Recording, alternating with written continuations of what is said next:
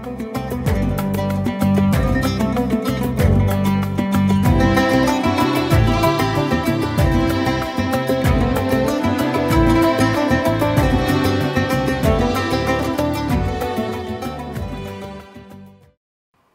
بكم مشاهدينا الكرام في أولى حلقات برنامج نغم يمني في باريس واللي بنقدم من خلاله تغطية تخليكم تعيشوا معنا لحظة بلحظة حفلتنا الثالثة نغم يمني في باريس. في كل أسبوع بنعيشكم في رحلة ممتعة ومشوقة بتشوفوا كيف يشتغل فريقنا من أجل تقديم أفضل فن لكم وللعالم. وأيضا بنقدم معلومات شيقة ومفيدة ولقاءات حصرية مع أهل الفن وحول الفن وأيضا مع نجوم حفلتنا نغم يمني في باريس. طبعا رحلتنا مثل كل مرة من اليمن حيث ننطلق منها بروح معنوية عالية حاملين معنا فننا وتراثنا إلى كل بقاع العالم. ومع فريقنا كانت الرحلة شوية متعبة. إيش رأيكم تعيشوا معنا هذه التفاصيل؟ يلا بينا.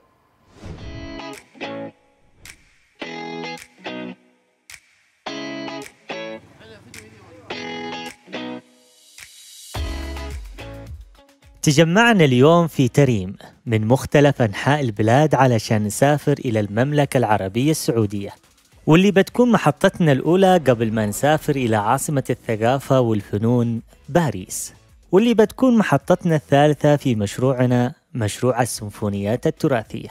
طبعا ومثل ما أنتم عارفين كانت محطتنا الأولى في العاصمة الماليزية كوالالمبور في العام 2019 والمحطة الثانية في العاصمة المصرية القاهرة في العام 2022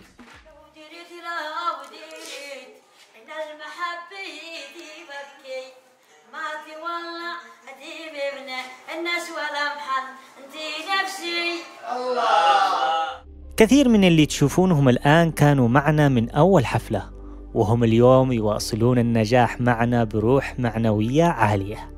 مش كذا وبس أيضا انضم إلى فريقنا المزيد من الموسيقيين والفنانين الرائعين. معنويات إن شاء الله عالية يلا توفيق إن شاء الله. وطبعا رحلتنا اليوم جمعت الفريق كامل بعد غياب طويل. وشعور بالشباب اللي التقي بهم الشباب الذي التقينا بهم الدفعة الأولى. يعني مشتاقين لهم. وعشان كذا كان لابد من ترحيب حار ببعضنا.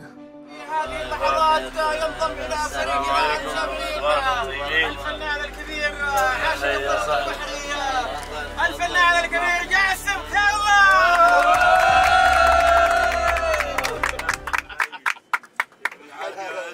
رحلتنا إلى السعودية بالبر كانت طويلة لكن طبعا فريقنا فنان والفنان يعرف كيف يكسر الملل.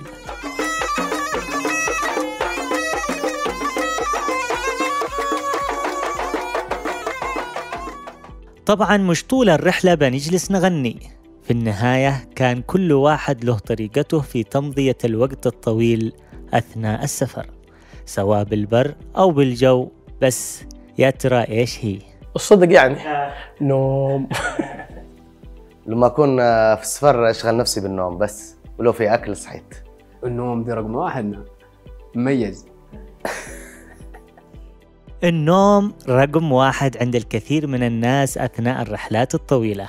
ومع ذلك مثل هذه الرحلات تخلي الواحد يختلي بنفسه ويفكر كثير خصوصا لما يكون عنده عمل وارتباطات كثيرة لازم يرتبها قبل ما يسافر.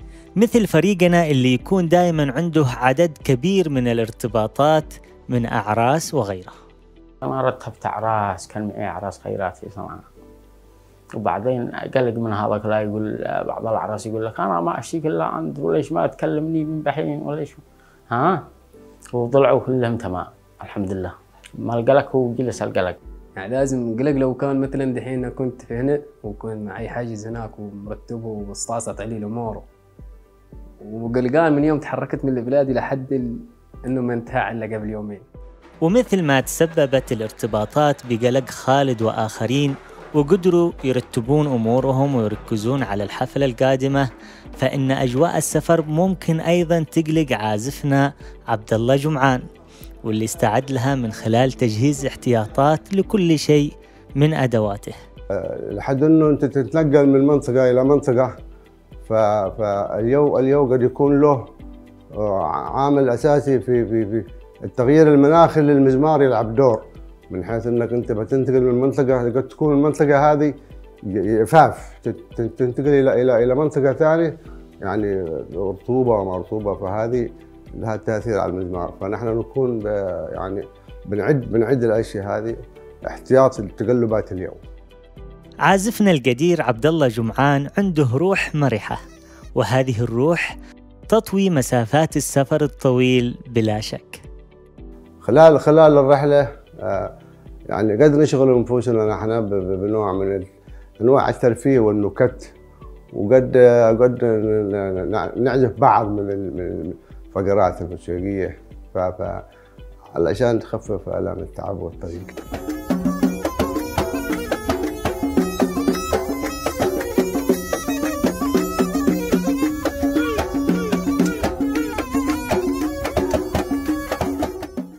بعد يوم طويل وصلنا أخيرا إلى الرياض. المكان اللي بنجلس فيه شوية أسابيع من أجل إجراءات السفر إلى فرنسا وأيضا القيام بالتدريبات اللازمة.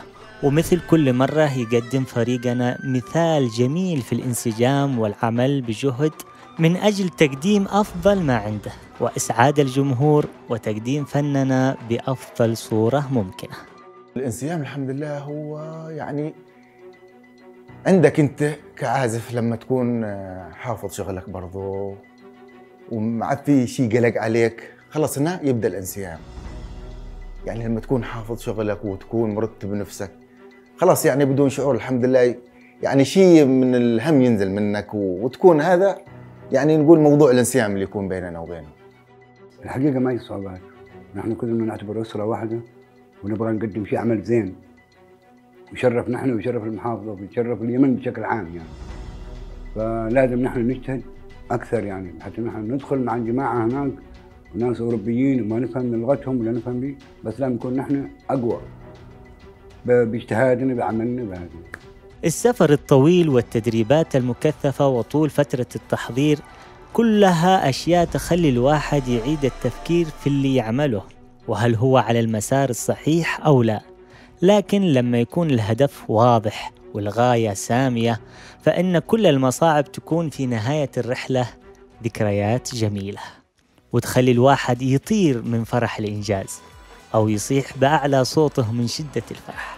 وهذا الشيء اللي بيعمله الإيقاعي علي أمان. أيوة قال بيصيح. ففجأة جون يقولوا لي معك معك رحلة إلى باريس. تمام؟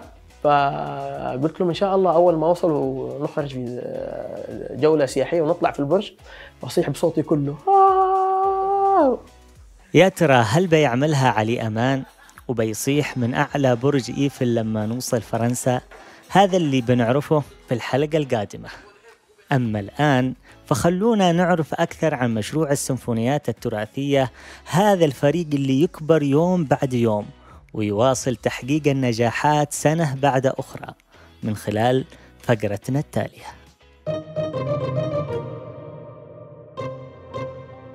البداية كانت شاقة مثلها مثل بداية أي شيء آخر في الحياة. والحسن الحظ يحس الإنسان بعد الإنجاز أن مشقة البداية كانت ممتعة وغالبا يتذكرها بابتسامة. نحن في السيمفونيات التراثية كانت بدايتنا هنا في حضرموت المكلا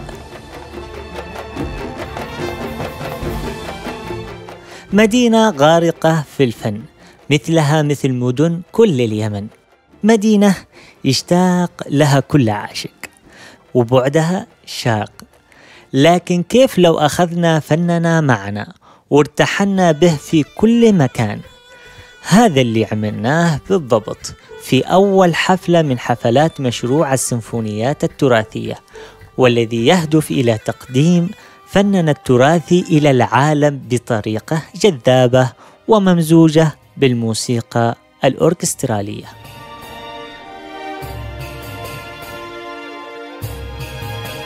أول حفلاتنا كانت في ماليزيا في قصر الثقافة قاعة ستانا بوداي بالعاصمة كوالالمبور وكانت في العام 2019 وبعنوان الأوركسترا الحضرمية. كانت تجربة فريدة ومشجعة رغم الصعاب التي واجهت فريق العمل خلال السفر الطويل والترتيبات الخاصة بالفرقة والمسرح والتأليف الموسيقي وغيرها من التحديات اللي غالبا ما يلاحظها المشاهد أو المستمع للموسيقى.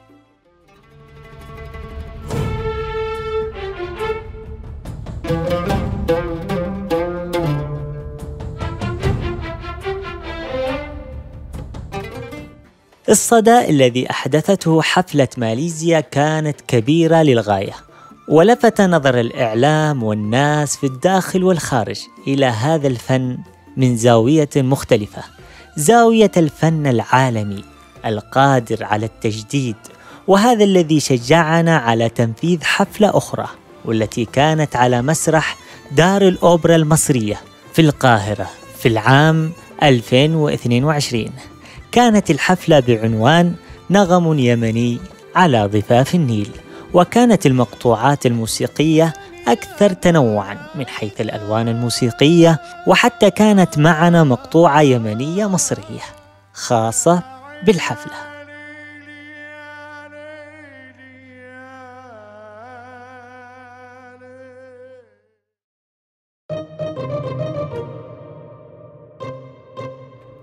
حفلتنا التالية في باريس لكن ليش باريس؟ وليش صمدنا رغم كل التحديات؟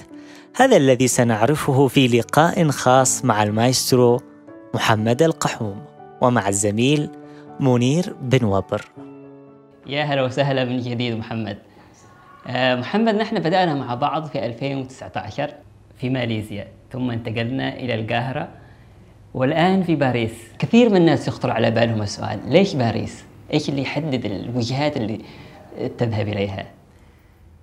شوف عشان أكون ب- معاك صادق وأنت يمكن تعرف آه هو اولا تيسير أمور لوجستية تتيسر آه أمور آه معينة عوامل معينة تتيسر إنه هي الحفلات تقام في البلد اللي اللي نحن نروح لها ولكن ما أخفيك يمكن أنت كنت تعرف كنا من أيام ماليزيا كنا نتمنى انه تكون وجهتنا القادمة أوروبا وجهتنا القادمة أوروبا لأنه آم، مشروع موسيقي وفني وتراثي مهم جدا يكون له بصمة كويسة في أوروبا وإن شاء الله يا ربنا يتمم على خير. إن شاء الله. طيب آه، الحفلة الأولى كانت طابعها حضرمي تقريبا خالص. ازداد التنوع بعدين في حفلة القاهرة. كانت أكثر ألوان أكثر تنوع. ازداد التنوع الحين في حفلة. هاي سبقت بالإجابة. والسؤال إيش الجديد الآن في باريس؟ تماما بيزداد التنوع الآن في الحفلة الجاية. آه شوف هو إحنا عايشين في بحر صراحة في بحر من الألوان. يعني آه ف فلا المرة دي أكثر تنوعا من حفلة القاهرة. صحيح ما بنقدر طبعا نشمل ولا بنقدر نغطي أنت تشتغل في بحر زي ما قلت لك من الالوان ولكن في ألوان جديدة في ألوان لأول مرة بتقدم بشكل أوركسترالي آه في في في ألوان ما تتخيل في بال حد إنه ممكن هذا اللون في يوم من الأيام ممكن يكون آه، أوركسترالي ويقدم في دار أوبرا عالمي بحجم موغادور طيب هذا يدفعنا لسؤال ثاني يعني أنت كيف تختار الألوان؟ يعني الآن في عدة ألوان تختارها يعني من كل مكان. شوفوا يعني أهم نقطة بعيدا عن التفكير أحيانا تكون نفسك في لون معين أول سؤال كيف بتقدمه؟ يعني هل عندك الفريق اللي بيقدر يقدمه ويطلع؟ يعني أحيانا مثلا تقول والله أنا بغيت اللون الفلاني ولكن مثلا ما ما عندي آه، فريق ايقاعي مثلا ممكن يؤدي هذيك الألوان بشكل كويس أو ما عندي فنان اللي بيقدر يطلع مع أوركسترا وبيكون professional جدا وما بيتلخبط لأنه وضعنا في الاوركسترا مش زي وضعنا بشكل عادي. نحن قدام أي شيء لازم الفنان يحسب ولازم يكون عنده خبرة بالموازير. فأول سؤال عشان أقدم لون اولا هل في عندي حد بيقدم لي بالشكل اللي أنا بغيت بقدمه؟ واحد. ثانيا هل في عندي مراجع كافية بأنه آه بقدم حاجة من عمقها؟ لأنه أنا ما أخذ لون كذا وأقدمه وخلاص. لازم أدرس اللون أغوص فيه بالأول أفهم تفاصيله وين نقاط قوته وين نقاط ضعفه.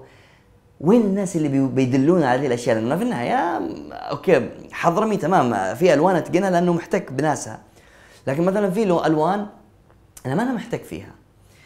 فمحتاج حد يكون في هذيك البلد يفهمنا يتكلم بنفس منطقي العلمي يعني عنده خبرة بالبرامج وكذا بحيث إنه يفهمنا إيش أزمنة الإيقاع. طيب لو أنا بسوي كذا هل فهي أول عامل إنه كيف بأدي؟ ثاني عامل هل في عندي مرجعيات ارجع لها؟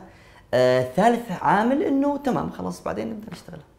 طب نحن من بداية من ماليزيا يعني آه، نلاحظ في بعض أعضاء معك أو آه، موجودين في ماليزيا موجودين في القاهرة وسوف يكونوا موجودين مثلا في باريس. يعني إيش اللي اللي يحدد اول شيء معايير اختيار الفريق؟ وإيش اللي يحدد بقاء البعض ودخول بعض جديد آخر؟ المقطوعات. المقطوعات. أنا ألفت مقطوعة. إيش بتحتاج المقطوعة؟ أكتب. والله هذه المقطوعة محتاجة ايقاعيين يتقنوا اللون الحضرمي. أوكي إذا محتاج أنا أربع ايقاعين يتقنوا الحضرمي. إيش كمان محتاجه؟ okay محتاج عازف قانون عازف ناي عازف كذا. أحط أنا خانات. أعمل زي ما تقول بعدين آه، كل المقطوعات. إجمالي كل المقطوعات. إيش اللي محتاجه؟ على ضوء أختار. أنا والله الآن أنا محتاج عازف عود اذا فلان الفلاني أفضل عازف عود وممتاز بي- بيضبط معي. وعندي كل واحد بديل له. إذا ما وافق ما ضبطت معنا البديل. عازف إيش عازف مثلا فعليا في بعض مقطوعات الآن مثلا في في في حفلة باريس في ناس ما, ما يعني ما لهم آه، مقطوعات معينة فما بيكونوا موجودين وفي ناس بالعكس بتشوفوا وجوه جديدة وهذا هو ال- الأساس في اختيار الناس اللي بيطلعوا المسرح احتياج المقطوعات آه، طبعا يا محمد ويعني بما إنه جزء من الفريق نلاحظ أن المشروع يمر بمراحل طويلة قبل ما نطلع على خشبه المسرح. إيش أصعب مرحلة في كل هذه المراحل اللي قد تمتد أشهر حتى؟ شوفوا هو يمر بمراحل معينة بس أصعب مرحلة ممكن تقول هي المرحلة اللي نحن الحين فيها. آه شوف نحن فريق فني يعني أنا كمحمد و, و... أعتبر فنان أكثر من إنه إداري. آه إشكالية المشروع إنه آه نحن نقوم بدورين مع بعض. يعني تقوم أنت بدور فنان يعني عليك ضغط إنك أنت تألف مقطوعات وتبعاتها يعني لازم تكون مقطوعات كويسة دارسها كويس. هذا بحد ذاته حمل كبير يعني رهيب وكيف تدمجها بشكل كويس. بالإضافة إلى حمل آخر هو حمل إداري. أنت كمدير المشروع لازم تتابع الأفرقة وتتابع الموازنات وتتابع تفاصيل الأمور كيف ماشية. فالموضوعين ذيلا لما تخلطهم مع بعض يدمروك. تروح فيها. تروح فيها. فعليا فتمر بمرحلة صعبة. أنت محتاج تروق عشان تألف وبنفس الوقت عندك مشاكل إدارية لازم تحلها. طيب ده تحدي صعب يعني. أمام هذا التحدي إيش اللي يبقيك يعني؟ أو إيش اللي يلهمك إنك تستمر رغم كل التحديات؟ والله أنا اللي قبل كم يوم أقول شوف ندخل في مشاكل مش طبيعية. أول ما أرجع للمقطوعات أحس ده مكاني. أيوه أرتاح جدا بإنه بكرة أو دي المقطوعة تحسها زي ولدك كذا تربيه بكرة بعد أنت بتشوفه قدام الناس بيشوفوه الناس بتقدمه للناس. فهذا الشيء إلى حد ما, ما يعني يعني جابر. بس ونقطة أهم من كذا برضو يا أخي الرسالة تحس إنك أنت تقدم رسالة كويسة. أنا ما قاعد أخدم نفسي كمحمد ولا قاعد أخدم فريقي. إحنا نخدم رسالة إن إحنا نحاول نقدم بلدنا بشكل كويس في ظل الوضع الصعب اللي تعيشه كل البلد فيه يحاول الواحد ينقل صورة كويسة عن بلده يقدم مواهب بلده بشكل كويس يقدم فنون بلده بشكل كويس. فهذا بحد ذاته والله أحيانا أقعد أقول يا أخي إيش مستاهل؟ يعني ليه أنا أحط نفسي في كل ذا الضغط في كل ذا الهم والغم اللي أنا فيه؟ أنا مؤلف موسيقي كويس وشغلي شغال بشكل كويس ما أنا بحاجة إنه أحط نفسي تحت ضغط زي كذا. بعدين رجعت أقول لا يا أخي يعني ناس معولة على مشروعك ناس لازم فتضطر تحس هذا الشيء مثل الطبطبة يعني إنه هي تطبطب عليك إنك أنت تستمر. آه، طيب الآن يا محمد بين ماليزيا ومصر وفرنسا نلاحظ إن مصر هي الدولة العربية الوحيدة. هل هذا يعني إنه الشعوب غير العربية أو الدول غير العربية أكثر تعطشا للفن اللي بتقدمه لا شوفوا في في في حاجة حلوة إحنا يعني عملناها عملنا زي ما تقول توازن. الناس كانت تشوف إنه الأوركسترا حاجة دي غربية ما حد يحبها كذا تجي تسمع أوركسترا ما يحبوها. وألوان العربية بحتة بشكلها البحت آه، يعني يحبوها الناس كثير. خطة المشروع وين يروح؟ هذه لها عوامل أخرى. بس فعليا واللي ممكن الناس ما تعرفه الآن صار عندنا طلب كثير في دول عربية إن إحنا نعمل حفلات فيها. بشكل تجاري بحت يعني. ف فحتى في حفلة بعد أسبوعين من حفلة باريس في بلد عربي.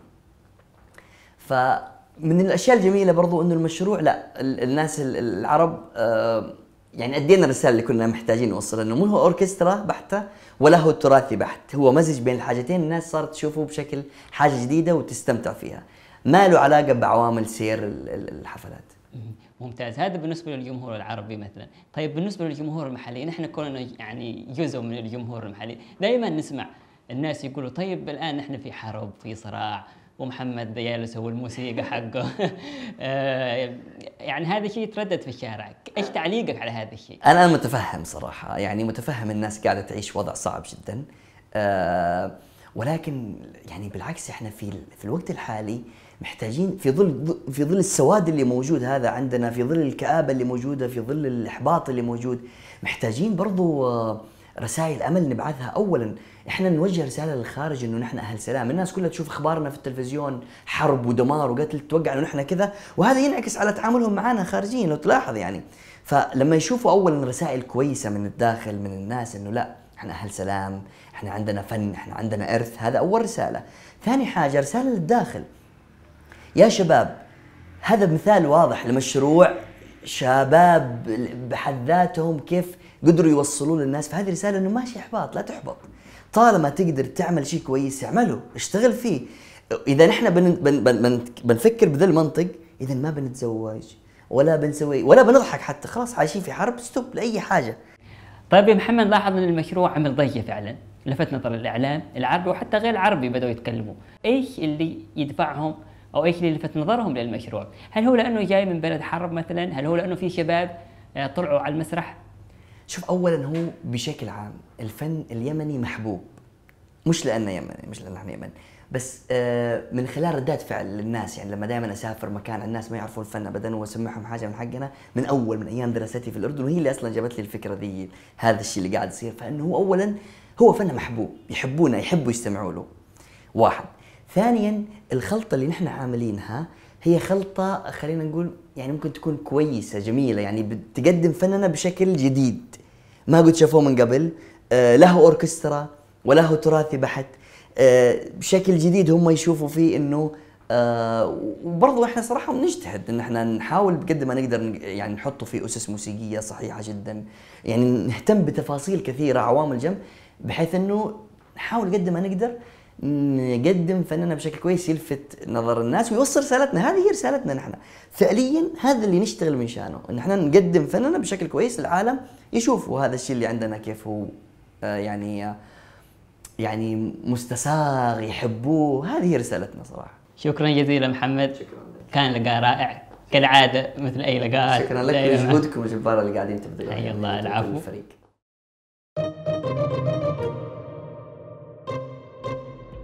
إذا كنا اليوم رايحين فرنسا علشان نقدم فننا للعالم فالسبب أنه فننا بالفعل ملفت للنظر ويستحق أن يكون له حضور عالمي. والدليل أن كثير من الأجانب اللي زاروا بلادنا شدت انتباههم هذه الفنون اللي نتعايش معها كل يوم. خلونا نعرف أكثر في الفقرة التالية مع الزميل محمد علي. من بريطانيا إلى اليمن. محتاجين نحكي اليوم حكاية السيدة دوروين إنغرامس هذه الامرأة اللي اهتمت بتوثيق كل شيء صار معها في زيارتها إلى جزيرة العرب وتحديدا عندما مرت بحضرموت ومدينة الشحر. في مدينة الشحر قامت السيدة داروين إنغرامس بنقل كل ما شاهدته في البحر لأن في البحر سمعت تراث شفهي وفن يمني جميل جدا. احتاجت إنها تحكي لنا بهذه البساطة. تقول داروين إنجرامس في الصباح وصلنا إلى ساحل البحر في مدينة الشحر وهناك أعجبتنا زرقة المياه والرمال الذهبية على الشاطئ.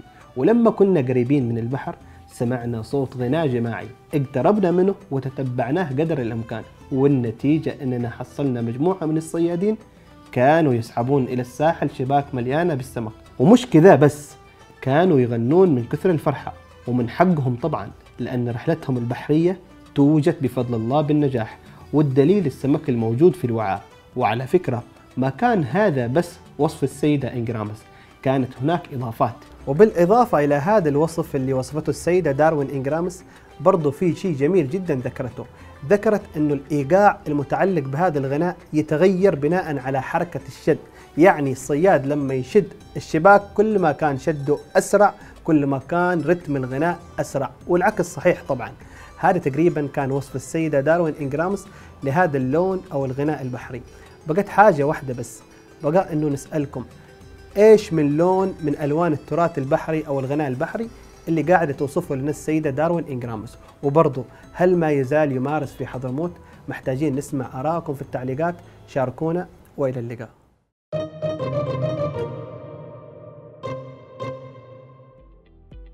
الموسيقى لغة عالمية وحمامة سلام تسافر من بلد لآخر ومن ثقافة إلى أخرى دون أي قيود.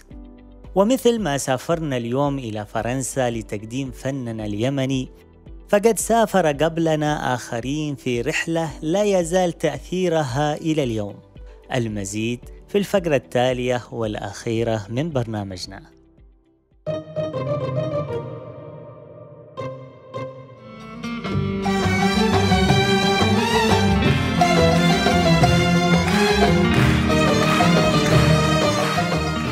شايفين الطرب الشرقي اللي تحيا حفلاته في الغرب؟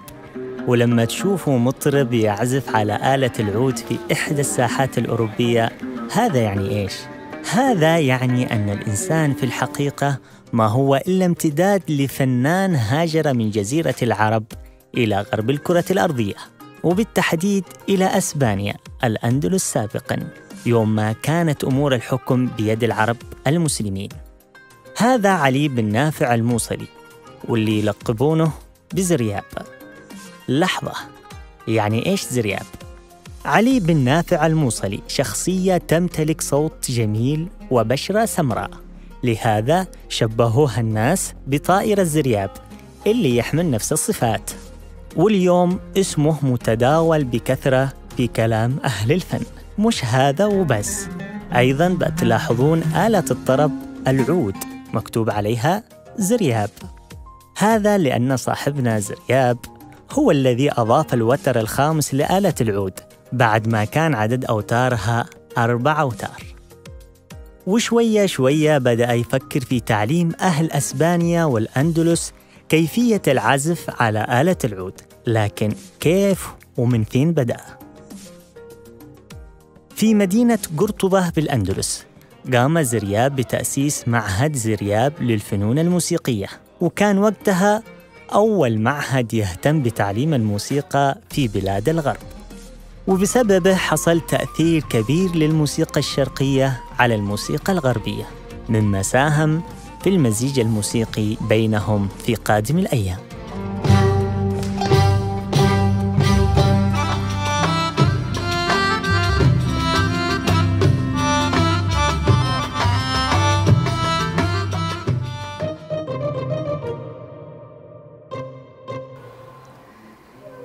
من اليمن إلى ماليزيا إلى مصر إلى السعودية يمر مشروع السيمفونيات التراثية بمراحل مختلفة ويصنع نجاحات أكثر وأكثر. الآن موعد ختام حلقتنا الأولى من برنامج نغم يمني في باريس. وهذا ما يعني أنكم ما تعيشوا تفاصيل أكثر عن رحلتنا لأن إحنا عملنا لكم تغطية أكثر في مواقع التواصل الاجتماعي اللي تظهر لكم أسفل الشاشة. في أمان الله.